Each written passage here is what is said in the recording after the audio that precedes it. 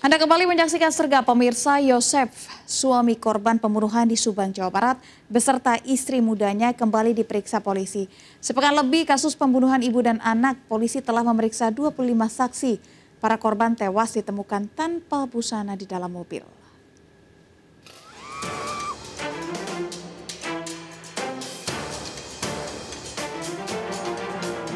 Yosef Hidayat, suami Tuti Suharti yang juga ayah Amalia korban pembunuhan beserta Mimin, istri mudanya dijemput Satreskrim Polres Subang. Keduanya kembali diperiksa sebagai saksi dalam kasus pembunuhan ini. Tuti dan anak gadisnya ditemukan tewas mengenaskan di bagasi mobil dalam kondisi tanpa busana. Penyidik e, memberitahukan bahwa hari ini untuk klarifikasi tambahan. Berarti ya. Bu Mimin sama Pak Yosef atau Bu Mimin sama Pak Yosef. Kedua korban ditemukan mengenaskan tanpa busana di bagasi mobil mewah yang terparkir di halaman rumah korban. Fakta pembunuhan, tidak ada kerusakan di pintu jendela rumah korban. Barang yang hilang hanya handphone milik Amelia. Pelaku pembunuhan diperkirakan lebih dari satu orang. Pelaku diduga tidak mahir mengemudi saat memindahkan mobil. Sejauh ini sudah 25 saksi yang diperiksa polisi termasuk Yosef, suami korban dan istri mudanya yang telah 8 tahun dinikahi, serta pacar korban Amelia. Sebelum terjadi pembunuhan, pukul 8 malam, Yosef pergi meninggalkan Tuti, istrinya, dan Amalia di rumah.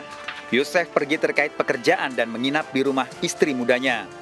Sekitar pukul 7 pagi, Yosef pulang namun curiga melihat gerbang terbuka, ada baju di bak sampah berlumuran darah. Kemudian mobil mengarah keluar. Yosef kemudian melapor ke kantor polisi. Yosef pulang ke rumah bersama polisi mendapati istri dan anaknya tewas tanpa busana di jok belakang mobil. Di beberapa ruangan, darah berceceran. Dari Subang, Jawa Barat, Yudi Heriawan, iNews melaporkan.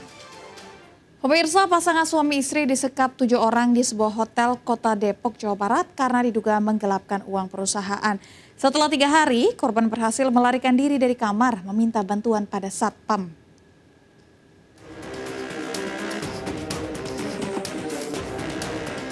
Dalam rekaman CCTV ini, Handiana dan istrinya berlari melalui tangga hotel di kota Depok setelah tiga hari di.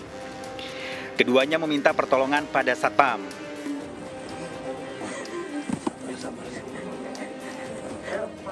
Istri Handiana terus menangis ketakutan setelah selama tiga hari sempat diancam dan dianiaya tujuh orang. Hasil penyelidikan polisi Handiana disekap karena diduga melakukan penggelapan uang perusahaan. Para pelaku menyewa tiga kamar untuk melakukan penyekapan. Polisi menangkap dua pelaku penyekapan.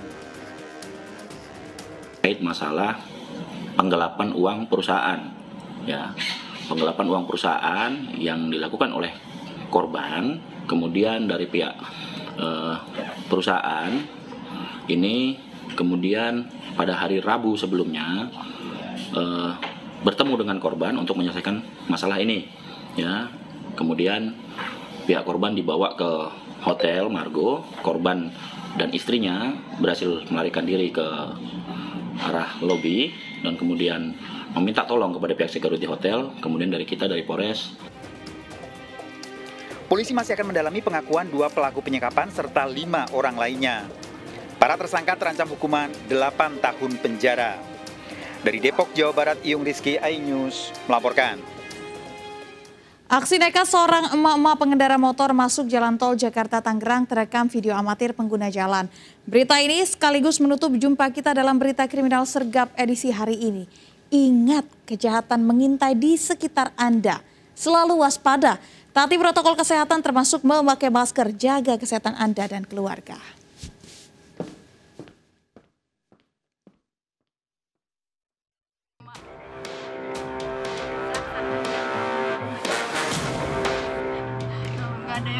Mengalahkan emak-emak